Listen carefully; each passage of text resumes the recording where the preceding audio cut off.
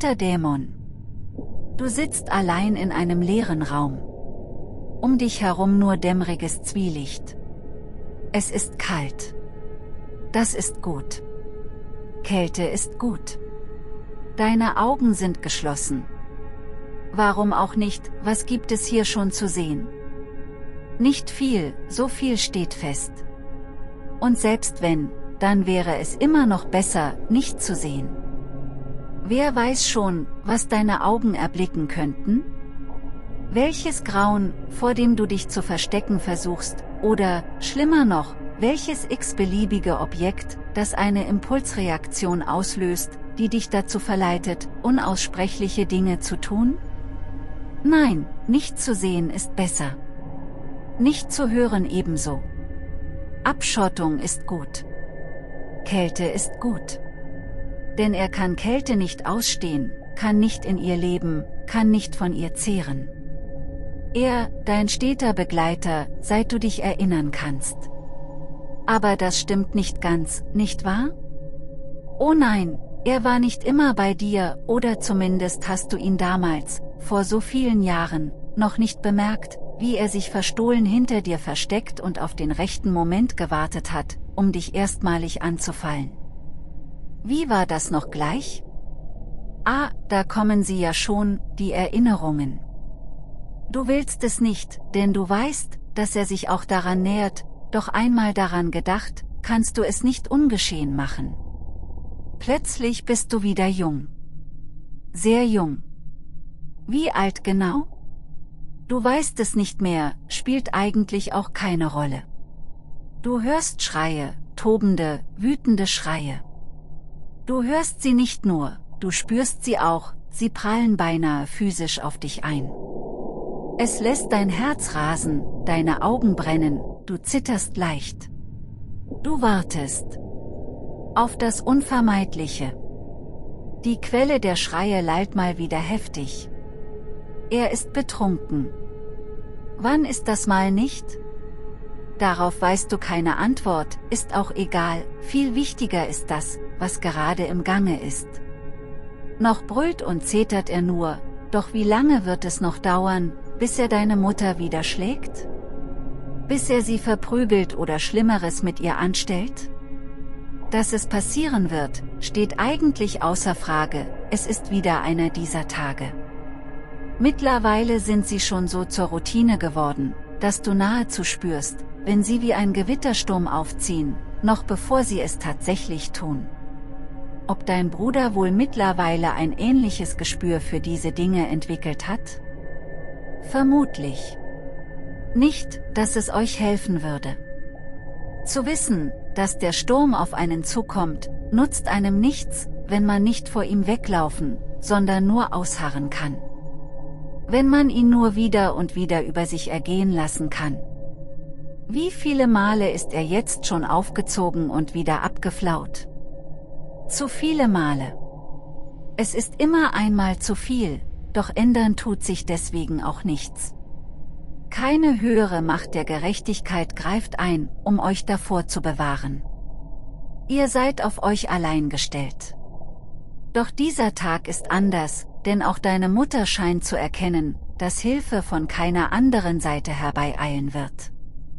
Sie ergreift zum ersten Mal die Initiative, was nichts anderes bedeutet, als dass sie in die Küche rennt und sich eine Waffe sucht, mit der sie sich zur Wehr setzen kann. Das Mittel ihrer Gegenwehr blitzt auf, als sie es auf ihn richtet. Obgleich dein Herz einen kurzen Satz macht, weil du glaubst, dass der Moment eurer Rettung endlich gekommen ist, fürchtest du dich auch aus einem unerfindlichen Grund. Wenig später wird dir auch klar warum. Wer glaubt schon ernsthaft, er könnte einen Sturm mit einem einfachen Messer aufhalten? Das funkelnde Ding interessiert ihn nicht. Ganz im Gegenteil, es macht ihn nur noch wütender, lässt ihn noch mehr rasen, noch mehr brüllen. Du spürst instinktiv, dass die Situation in Bruchteilen von Sekunden völlig eskalieren kann. Und wenn das geschieht, dann wird das Unwetter nicht einfach nur über euch hinwegziehen und mit ein paar vergleichsweise leichten Blessuren zurücklassen. Nein, es wird euch zerreißen.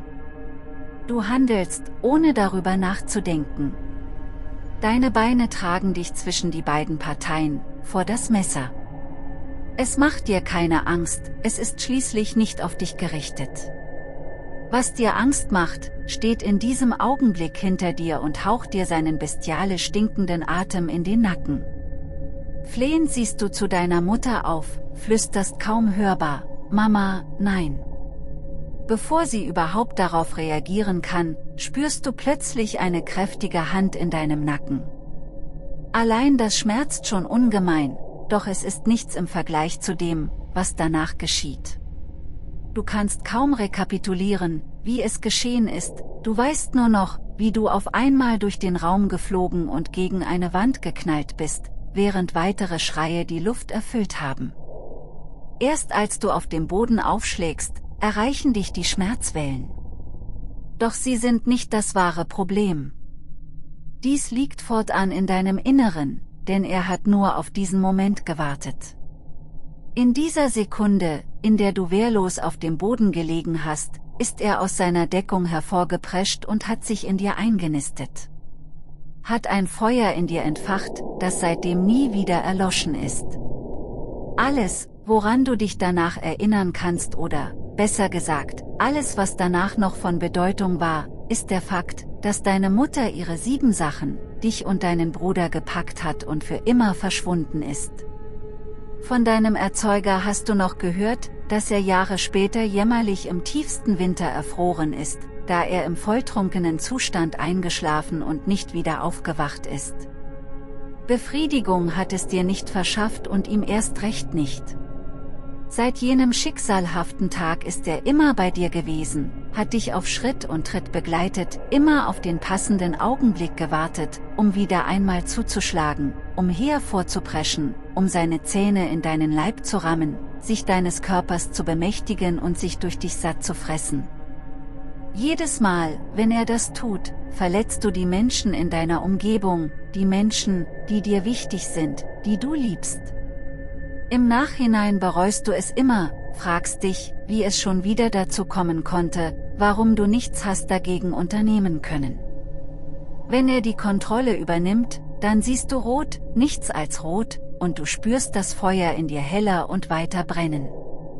Es ist so unendlich heiß, so unerträglich heiß, frisst sich auf seinem Weg durch dich hindurch, durch jede Vernunft, jede Logik, verbrennt alles zu Asche und ebnet den Weg für ihn, den roten Dämon.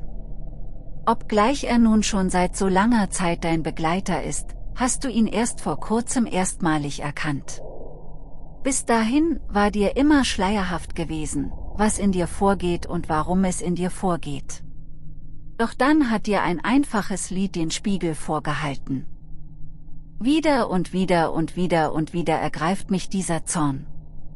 Und ehe ich mich versehe, hab ich die Kontrolle längst verloren. Wieder und wieder und wieder und wieder schieß ich aus allen Rohren. Doch das bin nicht ich, das ist nur mein blinder Zorn. Ich leide unter mir. Das Ganze eskaliert. Bis niemand sich mehr rührt. Ich hasse mich selbst dafür. Wieder und wieder und wieder und wieder ergreift mich dieser Zorn. Und ehe ich mich versehe, hab ich die Kontrolle längst verloren. Wieder und wieder und wieder und wieder schieß ich aus allen Rohren. Nichts ist wie es war, und ich wünscht, ich wär nie geboren. Mein blinder Zorn. Mein blinder Zorn. Märzfeld, Zorn. Im Grunde so simpel Zeilen, die dir eine ebenso simpel Wahrheit aufgezeigt haben. Eine Wahrheit, die dir so lange verborgen geblieben ist. Der rote Dämon, der dir so lange verborgen geblieben ist. Sein Name ist Zorn. Und er hat sich so sehr in dir festgebissen, dass er wohl nie wieder loslassen wird. Wieder und wieder und wieder wird er das Feuer in dir anfachen und wie ein Sturm über deine Geliebten hereinbrechen. Du vergleichst dich nicht mit deinem Erzeuger, oh nein. Er war ein Trinker gewesen und ein Arschloch, das zu keiner tieferen Empfindung als zu der Hingabe zu seiner Sucht fähig gewesen war. Außerdem wendest du, wenn der rote Dämon aus dir hervorbricht, keine Gewalt an, keine physische zumindest. Du verletzt mit Worten, was beinahe noch schlimmer ist. Du erkennst nun all diese Dinge und kannst doch nichts dagegen tun, oder besser gesagt, dir fällt keine Methode ein, den roten Dämon in deinem Inneren zu bekämpfen, ihn zu verbannen. Ist doch so, nicht wahr? So sehr du dir auch das Hirn zermarterst, so sehr du auch dagegen ankämpfst, jetzt, da du ihn einmal in dir bemerkt hast, hast du nur umso mehr Angst vor ihm, fürchtest dich vor dem nächsten Mal, da er dir sein hässliches Antlitz zeigen wird. Und es wird passieren, das weißt du mit Sicherheit, daran gibt es keinen Zweifel. Nun wird es Zeit. Es wird Zeit, dass du die Augen öffnest. Der rote Dämon befiehlt es dir. Ich öffne die Augen und starre in sein Gesicht, starre in mein Gesicht. Er ist ich und ich bin er. Er ist ein Teil von mir. Wir sind eins. Mein Spiegelbild blickt ernst rein, verbissen, noch nicht wütend, aber viel fehlt nicht. In dem sonst leeren Raum wird es wärmer. Ich bekomme es mit der Angst zu tun, will nicht mit ansehen, wie es schon wieder geschieht. Obgleich das Bild, welches mir gegenüber sitzt, sich nicht verändert, meine ich seine grässliche Fratze sich zu einem schiefen Grinsen verziehen zu sehen. Der Dämon ergötzt sich bereits an meinem Leid, mehr noch aber wartet er voller Vorfreude auf das Festmahl, das ihm bevorsteht. Das Leid der anderen, das Leid derer, die ich unweigerlich verletzen werde. Was ist es dieses Mal? Was hat ihn heute aus seinem Versteck gelockt? Ich kann es nicht sagen. Vermutlich irgendetwas Banales, Nichtiges, Lächerliches, Bedeutungsloses. Irgendeine Kleinigkeit. Es ist immer so. Jedes Mal ist es das Gleiche. Der Dämon grinst noch ein wenig breiter. Ich meine, jetzt, da ich ihn nach so vielen Jahren endlich erkannt habe, ist es nur noch schlimmer geworden. Nicht nur, dass ich stets Angst vor dem nächsten Ausbruch habe, nein, auch spüre ich jetzt erst recht, wie ich die Kontrolle verliere.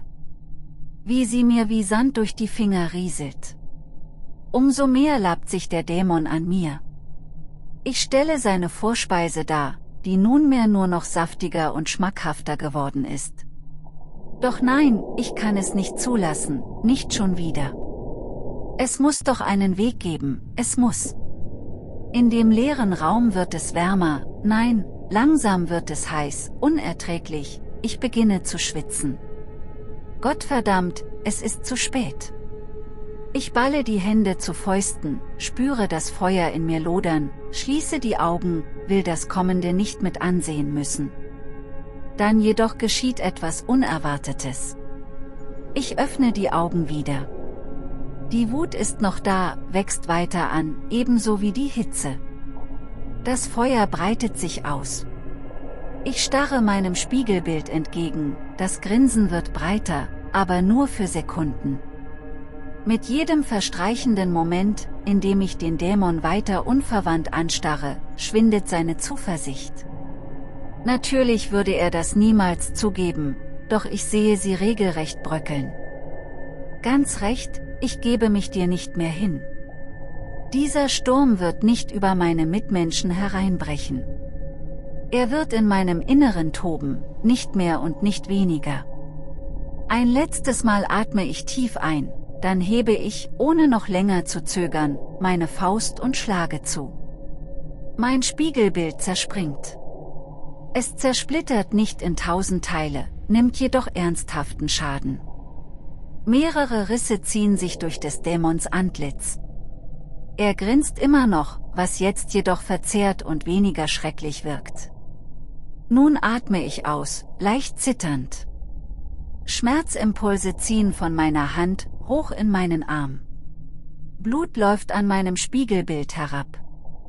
Ich öffne die Hand, lasse sie jedoch auf dem gesprungenen Glas ruhen. Der Schmerz senkt die Temperatur in dem Raum, nur langsam zwar, aber doch merklich. Zwischen meinen Fingern blicke ich in die Augen des roten Dämons. Sie funkeln. Obgleich sein Grinsen nicht mehr sehen kann, spüre ich es dennoch. Deutlich schwächer zwar, aber vorhanden. In seinen Augen ruht ein Versprechen. Dieses Mal magst du mich überwunden haben, doch glaube mir, ich komm wieder. Und wieder und wieder und wieder. Dann verblasst er, verschwindet. Mit sich nimmt er die Restwärme aus dem Raum. Es wird wieder kalt.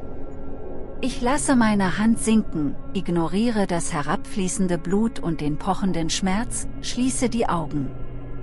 Mache mich bereit für das nächste Mal. Es ist gut. Kälte ist gut.